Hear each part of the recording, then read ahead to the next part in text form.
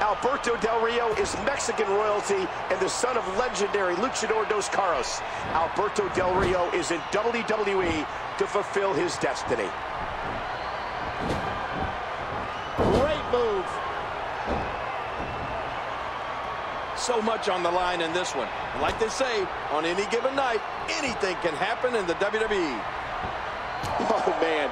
Did you hear that?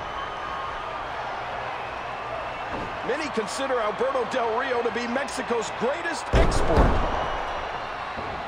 And he missed. This match will have a lot of big moves. One question will be, who will capitalize on those moves the best? Oh, what an elbow!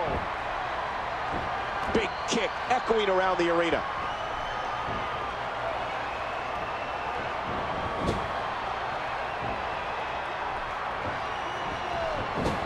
Have a strong feeling that these guys will throw caution to the wind and just go full steam ahead. Oh, wow, what a moonsault! A move like that is pretty dangerous for anyone involved. A lot of things can go wrong there. What a haymaker! A huge right hand. He swung wild with that one. This is, and that should do it. What's the Big Show have to do to get back into this one, King?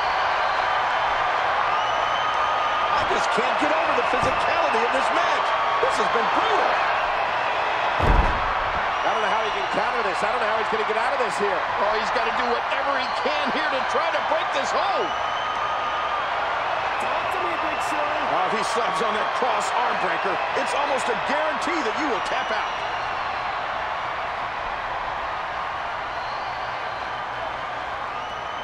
This is what WrestleMania is all about, ladies and gentlemen. The passion, leaving your body and heart and soul in the ring.